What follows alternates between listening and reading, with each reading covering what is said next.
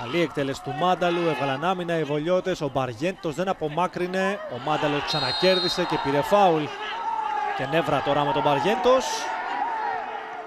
Κόκκινη κάρτα στον αμυντικό χαφ του Βόλου.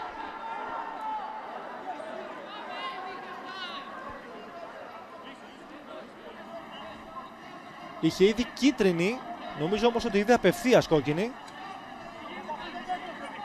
Για αυτή τη φάση με τον Μάνταλο στο 86.